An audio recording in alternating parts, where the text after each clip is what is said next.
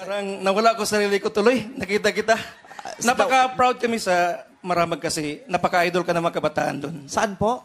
Maramag Bukid nun. Bukid Sa doon. Bukidnon. Ah, Mindanao. Magandang tanghali sa mga taga Bukidnon. Opo. Di ba masarap ang pinya dyan? Masarap, Oo. maraming pinya doon. Mga ah, pinya, ang mga produkto diyan, pinya, tubo, mais, ah, palay, may niyog, ah, halo-halo po. Halo-halo. Halo-halo, Ah, meron. may nata di coco. May, May leche flan may po ba? ube. Oh, kung, kung gawin nat natatiko ko, pwede rin. Ah, parang hinihingal pa po kayo. Okay lang po. Okay lang. Ganda ng foreman yun. Nasaan yung kapartner na pajama nito, sir? kapartner. Hindi, uso daw ngayon yun. Di ba yung mga Maganda. pajama ginagawang Tsaka ano? natuwa ko kay sir kanina. Pag kumakanta ka, nakaganyan ka lagi. Sir, no, yung parang may natapakan siya. Style ko yan, sir. My love will see you through.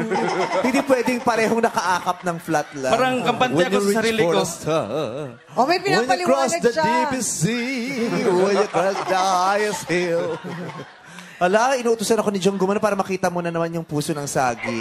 Ah, Ka- Kampante ako sa sarili ko pag ah, ginawa kong ah, ano ang parang mas hiyang ako. Bas- relax ah, siya, relax. Oh, may kanya-kanya sila. Oo, totoo Kasi si po. Pilita din pag lumiliyad. Mga ganon. Yun ang ano niya, pag lumiliyad. Ito naman pag nakaganyan. My love will see you through. Ay, ay, ay, kaya kantahin mo.